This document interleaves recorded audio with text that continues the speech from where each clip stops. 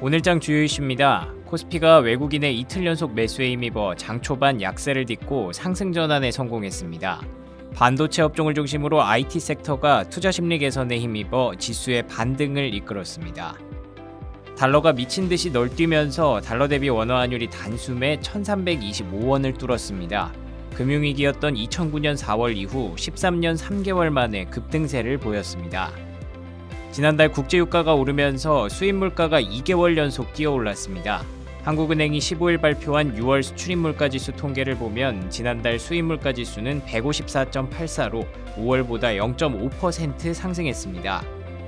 중국 경제가 제로 코로나 정책 여파로 코로나19 대유행이 시작된 2020년 1분기 이후 가장 느린 속도로 성장한 것으로 나타났습니다.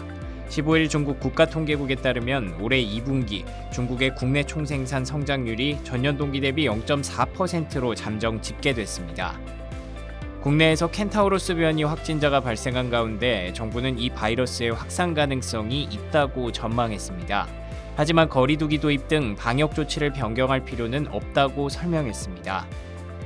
정부가 소상공인의 대출 부실이 현실화하지 않도록 이달 말부터 최대 43조 원 규모의 정책금융 공급을 개시합니다.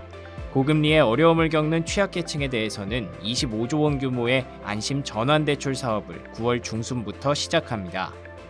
현대자동차가 내년 아이오닉 5N 출시를 시작으로 고성능 전동화 차량 라인업을 본격적으로 확대합니다. 특히 이번 부산 국제모터쇼에서 세계 최초로 공개한 아이오닉 6의 고성능 버전과 과거 양산에 실패했던 포니 쿠페를 계승한 N비전 74도 개발에 나선 것으로 알려졌습니다. SK하이닉스가 일각에서 제기된 내년 자본 지출 축소설에 대해 확정되지 않았다는 입장을 밝혔습니다. SK하이닉스 관계자는 15일 기업 투자는 경영 환경에 따라 얼마든지 바뀔 수 있다며 확정된 것은 없는 상황이라고 전했습니다. 다음 주 주간 체크 포인트입니다. 일정으로는 18일 일본 증시가 바다의 날로 휴장하고 19일에는 제닌 옐런 미국 재무장관이 방한합니다. 현대차 노조가 임단협 합의안에 대해 찬반 투표에 들어가고 성일 하이텍의 공모주 청약이 시작됩니다. 20일에는 중국 LPR 금리가 결정되고 금속노조가 총파업에 들어갑니다. 21일에는 ECB 통화정책회의와 BOJ 통화정책회의가 열리고 22일에는 국산전투기 KF-21 보라매가 첫 비행에 나섭니다. 경제지표입니다. 18일에는 미국의 7월 NAHB 주택가격지수가 발표됩니다.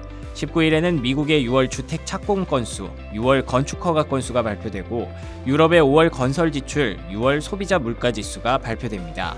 20일에는 미국의 6월 기존 주택 판매, 유럽의 7월 소비자 신뢰 지수, 독일의 6월 생산자 물가 지수가 발표되고 21일에는 미국의 6월 CB 경기 선행 지수, 7월 필라델피아 연은 제조업 지수, 한국의 1일부터 20일 수출입 동향이 발표됩니다.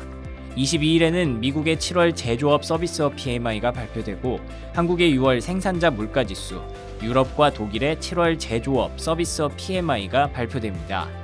실적입니다. 18일에는 미국에서 뱅크 오브 아메리카, IBM, 찰스 슈왑, 골드만삭스, 프로로지스가 실적을 발표하고 19일 미국의 존슨앤존슨, 노바티스, 록히드 마틴, 넷플릭스, 할리버튼, 해즈브로 등이 실적을 발표합니다. 20일에는 미국의 테슬라, 애보트, ASML, CCI, 바이오젠, 베이커휴즈, CSX, 유나이티드 항공, 알코아가 실적을 발표하고 21일에는 미국의 다나허, AT&T, 필립 모리스, 유니온 퍼시픽, 인투이티브, 트래블러스, 뉴코, D.R. 호튼, 스냅, 아메리칸 항공이 실적을 발표합니다. 한국에서는 현대차, KB금융, 포스코홀딩스, 포스코케미칼, 포스코인터내셔널이 실적을 발표합니다. 22일에는 미국의 버라이즌, 넥스트에라 에너지, 아메리칸 익스프레스, 슐럼버거가 실적을 발표하고 한국의 기아, 현대모비스, 신한지주가 실적을 발표합니다. 다음 주 전망과 포인트입니다. 이번 주 국내 증시는 미국의 물가, 국내의 금리 등 다양한 매크로 이벤트를 소화하며 변동성 장세를 보였습니다.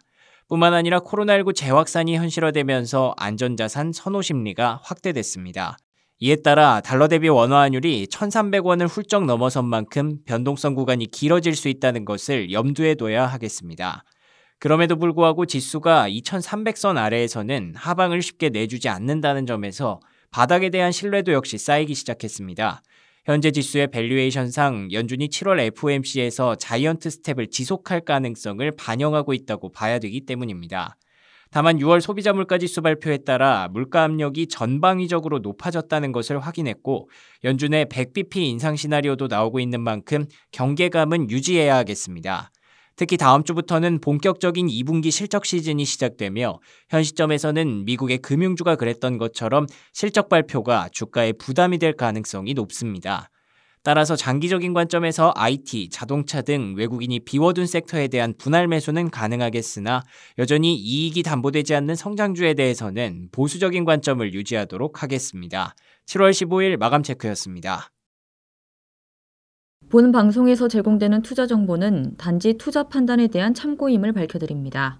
상품 및 부동산의 가치, 가격 상승 및 가격 하락에 대해서는 인포스텍 데일리와 진행자, 출연자가 보장하지 않습니다.